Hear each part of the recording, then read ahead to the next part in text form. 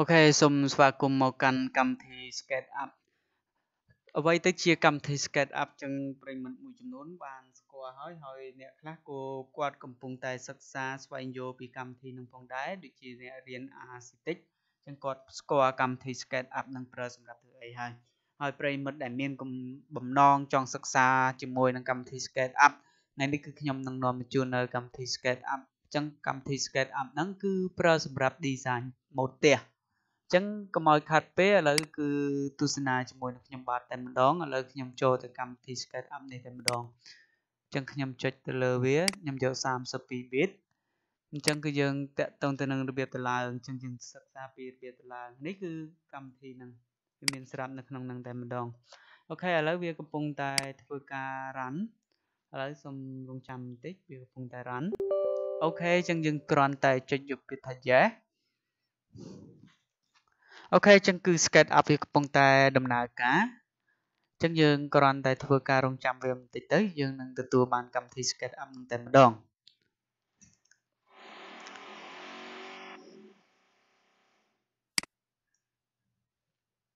អាឡូចាំបន្តិចខ្ញុំសុំធ្វើការតេស្តខ្លាចពេលនេះអត់ឮសលេងអាឡូអាឡូអូខេ ចឹងគឺលឺអត់អីទេអូខេចឹងគឺបន្តមកទៀតយើងគ្រាន់តែចុចយក next យើងយក next ទៀត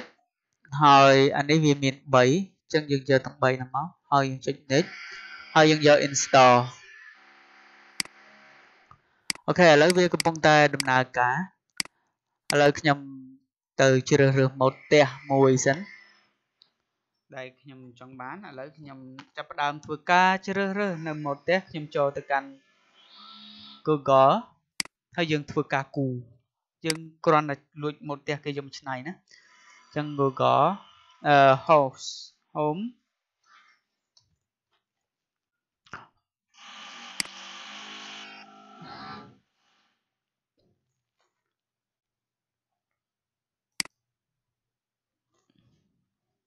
បាទម៉ូតបែបនេះក៏ស្អាតដែរ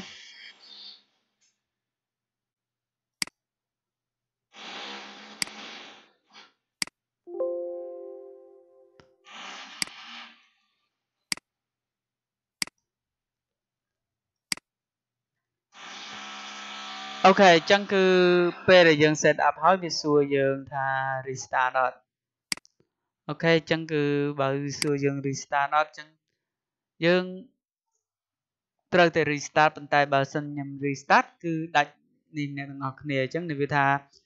uh, set up most update file or service and cannot be updated while the system run if you choose to continue or reboot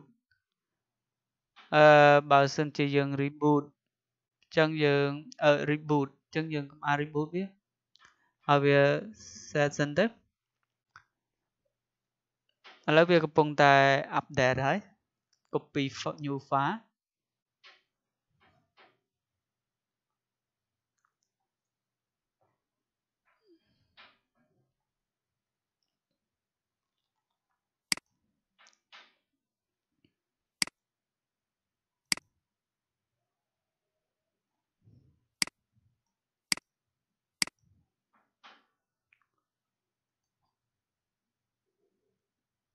អូខេអញ្ចឹងគឺយើងរងចាំវាបន្តិចហើយប្រិមិត្តដែលតែងតែតាមដាននិងប្រិមិត្តដែលមិនទាន់តាមដាន channel របស់ខ្ញុំសូមកុំភ្លេចពេលដែលចូលមកទស្សនានៅក្នុង channel របស់ខ្ញុំសូមកុំភ្លេចចុចទៅលើសញ្ញាកណ្ដឹងហើយចុចយកពាក្យថា subscribe ចុចទៅលើសញ្ញាកណ្ដឹងដើម្បីទទួលបាននៅវីដេអូថ្មីៗដែលសប្បាយមើលយើងខ្ញុំបាន ធ្វើការបង្ហោះចឹងគឺវាមានអ្វីប្លែកប្លែកជាច្រើននៅក្នុង channel របស់ខ្ញុំនេះវាតកតងទៅនឹងការដំឡើង Windows Server អីផ្សេងផ្សេងនៅក្នុងនឹងផងដែរអូខេអញ្ចឹងគឺសូមកុំភ្លេចតាមដាន និងគ្រប់គ្រងដល់ channel របស់ខ្ញុំបាទ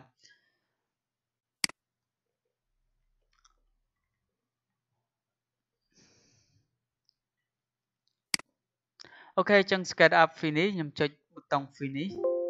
ចឹងវាសួរ reboot restart now ចឹងយើងថា no letter យើងយក no មានន័យថា letter អូខេអញ្ចឹងគឺបន្ទាប់មកទៀតយើងធ្វើការ activate មានន័យថាយើងដាក់ create file ទៅឲ្យនៃ sketch up របស់យើងអញ្ចឹងខ្ញុំចូលក្នុងកន្លែងនេះ right click ទៅលើវាអញ្ចឹងមកហើយបន្ទាប់មកគឺខ្ញុំធ្វើការដាក់ path វាចូល apply continue អូខេខ្ញុំបិទអានេះមួយ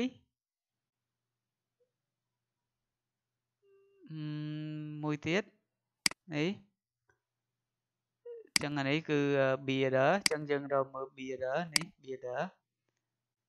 copy path ដាក់ចូលចាអូខេ continue OK OKអញ្ចឹងគឺហើយហើយឥឡូវកន្លែងនេះខ្ញុំសូមធ្វើការដាក់ក្នុងនេះមួយទៀត copy អានឹងម្ដងទៀតខ្លាចវាដើរ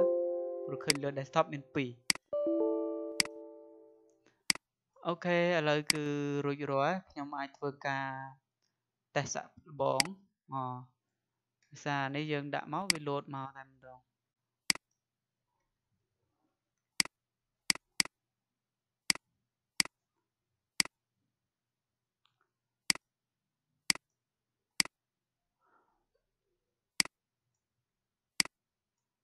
អានេះវាជា shortcut shortcut អូខេណា shortcut យើងទុកម្ដុំ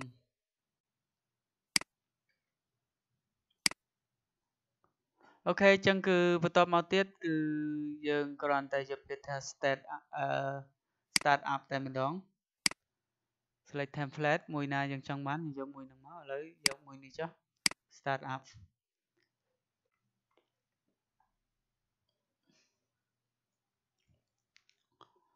អូខេឥឡូវវាកំពុងតែ run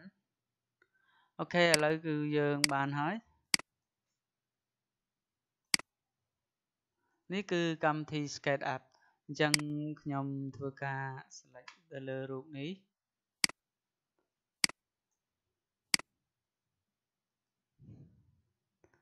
វា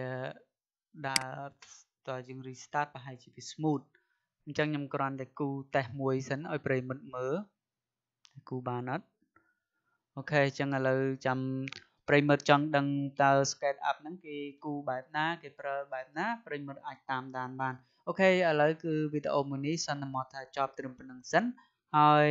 សូមកុំភ្លេចជួយចុច like ចុច subscribe នេះគឺជាវីដេអូតាក់ទងទៅនឹងរបៀបដំឡើងកម្មវិធី Skate Up អរគុណសម្រាប់ការតាមដានសូមជម្រាបលា